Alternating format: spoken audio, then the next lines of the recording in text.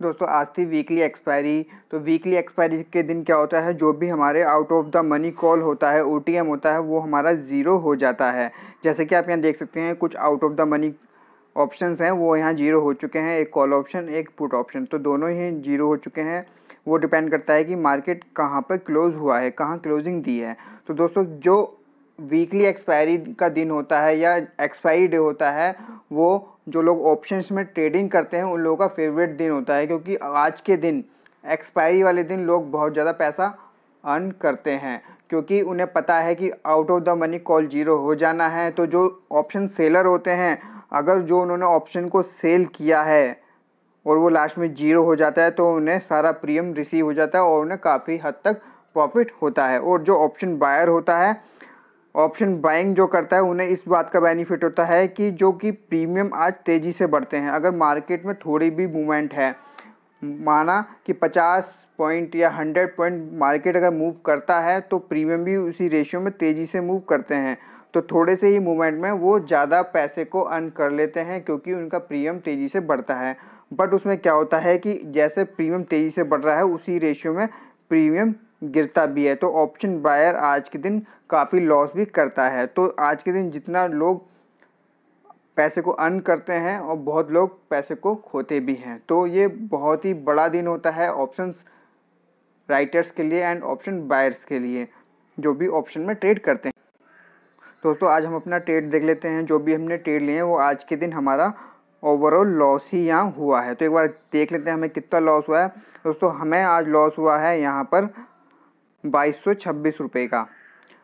तो, तो कुल मिला के हमारे यहाँ बाईस सौ का लॉस यहाँ हुआ है। आप यहाँ देख भी सकते हैं जो हमारे ट्रेड्स हैं आज ये हमने ट्रेड्स यहाँ लिए हैं। ओवरऑल हमारा लॉस में ही है बट दोस्तों ये जो मॉर्निंग में जब हमने ट्रेडिंग स्टार्ट करी थी तो इसमें हमें काफ़ी हद तक लॉस हमारा पैंतीस सौ तक लॉस यहाँ पहुँच चुका था। मतलब अगर आप देखें तो फ़र्स्ट हाफ़ में अगर इतना लॉस हो जाए तो दिमाग ख़राब हो जाता है। यही होता है कि फिर हम दिमाग से नहीं, दिल से ट्रेडिंग करने लगते हैं और हमारा लॉस डबल हो जाता है।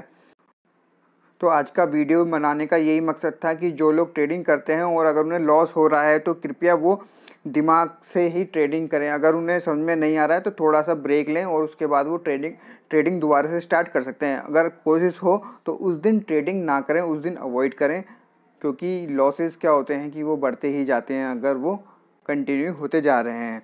ठीक है तो यहाँ हमारी ओवर ट्रेडिंग की वजह से भी आज काफ़ी लॉस हुआ एंड क्योंकि जब लॉस होने लगता है तो दिमाग काम नहीं करता तो अननेसेसरी ज़बरदस्ती ट्रेडिंग करने के चक्कर में भी यहाँ कुछ लॉस हुए हैं। बट सेकेंड हाफ़ में हमने काफ़ी रिकवरी करी है और जो अपने लॉस को था, उसको हम मिनिमम करके बाईस सौ पे ले आए हैं। बेसिकली ये हज़ार तक पहुँच चुका था। बट ये फिर बाद में एक लॉस दोबारा से हुआ तो ओवरऑल हमारा बाईस सौ तक यहाँ पहुँच गया। बट अगर देखें तो यहाँ कोई बड़े लॉस भी नहीं है या ज़्यादा, कुछ छोटे ही छोटे लॉस हैं और प्रॉफिट ज़्यादा नहीं है, क्योंकि इनमें हमने दो दो बार ट्रेडिंग या तीन तीन बार भी ट्रेड लिया है तो इसलिए ओवरऑल ये ज़्यादा प्रॉफिट एंड लॉस नहीं दिखा रहा है।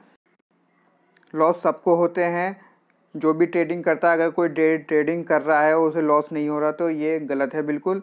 लॉस सबको होता है बट हमें ये समझना चाहिए कि हमें लॉस क्यों हो रहा है। अगर रिपीटेड लॉस हो रहे हैं तो इट मीन्स हम कुछ गलती कर रहे हैं, या जो हमने सेटअप लिया है, जो हमारा सेटअप है, उसमें हम जो एंट्री कर रहे हैं, वो हम गलत जगह कर रहे हैं, या कुछ भी हो सकता है। तो हमेशा अगर आपको लॉस हो रहा है तो सबसे पहले थोड़ा टाइम लीजिए कि ये लॉस क्यों हो रहे हैं। हमेशा समझिए अदरवाइज़ आपके लॉसेज इतने बढ़ जाएँगे और आपकी कैपिटल लास्ट में ज़ीरो हो जाएगी और फिर आप मार्केट से बाहर हो जाते हैं। तो हमेशा कोशिश कीजिए कि अपने लॉसेस को कम से कम रखिए, ज़्यादा ग्रीडी ना बनी क्योंकि मार्केट कल भी खुलना है मार्केट बंद नहीं होने जा रहा, क्योंकि हम सेम डे ट्रेडिंग करते जाते हैं ओवर ट्रेडिंग करते जाते हैं मार्केट से लड़ते जाते हैं मार्केट से रिवेंज लेते जाते हैं तो उस केस में हमारे लॉसेस जो हैं, वो बिग लॉस में कन्वर्ट हो जाते हैं और फिर हमें लास्ट में बहुत दुख होता है। तो हमेशा अपने लॉस को कम रखिए और प्रॉफिट तो होगा। अगर आपका सेटअप ठीक है, सब ठीक है, चीज़ ठीक है एंट्री ठीक है तो प्रॉफिट ऑटोमेटिक आएगा। बट आपको